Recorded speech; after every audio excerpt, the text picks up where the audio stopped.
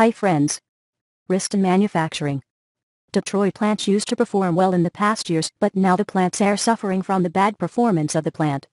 The reason behind this downturn is because of lack of investment in the plant section.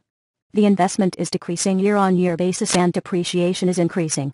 The plants need investment equal to or above depreciation for better performance.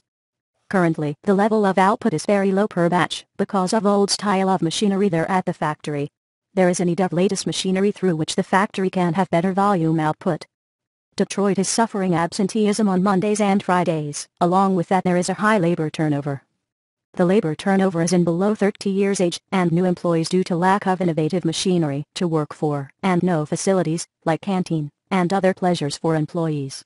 It should focus on their enjoyment and leisure for its employees.